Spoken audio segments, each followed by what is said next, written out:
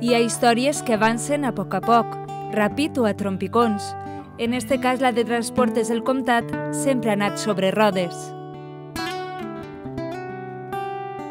Va ser fa més de 30 anys, al maig de 1985, quan un grup de transportistes va decidir unir-se i fundar la cooperativa Transportes del Comtat.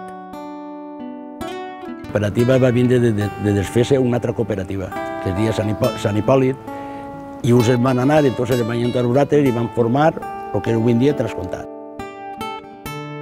En aquella època, la unió de forces mitjançant una cooperativa era una opció molt bona per als transportistes.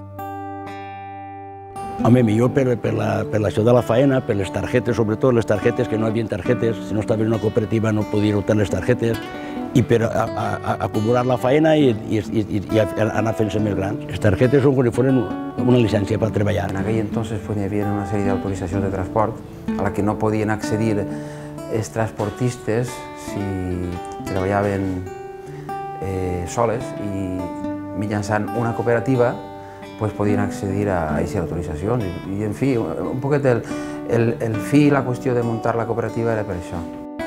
En aquells inicis, un dels fets més importants va ser l'adquisició de terrenys on avui se situa la nau de la cooperativa. Van comprar els terrenos i després van, van edificar i van tenir que donar un préstamo, van tenir que posar els, els, en garantia les hipoteques de, de les cases de cada un per, per poder afrontar el préstamo de garantia i després, pues, a poc a poc, anar, anar fent-se. Amb la unió de forces de tots els seus socis, Transportes del Comtat va anar ampliant els serveis als clients, ja que comptaven amb una major disponibilitat de flota, i d'esta manera el creixement va ser progressiu però imparable. El pas del temps, l'adaptació a les noves normatives i els canvis s'han anat assimilant i incorporant d'una manera natural. Les coses han canviat molt, des que va començar les normatives són totalment diferents. Ha, antes no n'hi havia control de quanta conducció i de més, ara pues, sí.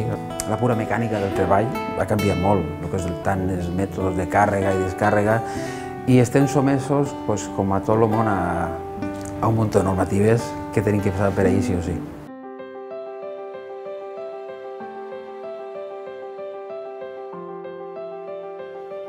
Actualment, Transportes del Comtat compta amb 23 socis.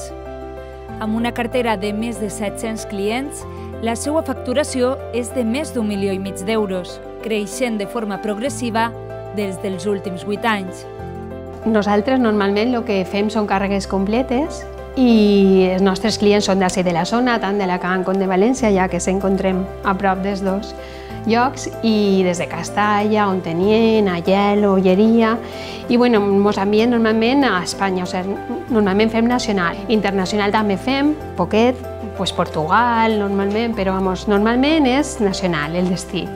Ens criden, es diuen la necessitat que tenen el viatge que volen fer i entonces nosaltres ja organitzem quin és el camió, arreglo la mercancia i arreglo pues, els viatges com corresponen, enviem el xòfer al, al lloc de càrrega, carrega i va al lloc de destí a entregar la mercancia al dia següent.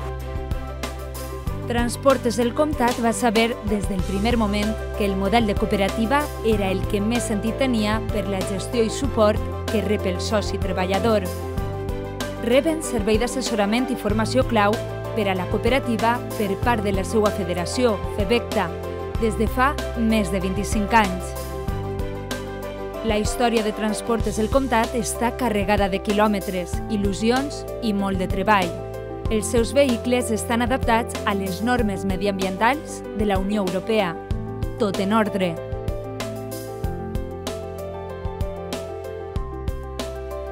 I amb el remolc ple d'experiències, Transportes el Comtat continua amb la mateixa il·lusió que fa 33 anys, viatjant des de la seua cosentaina allà on els clients ho poden necessitar.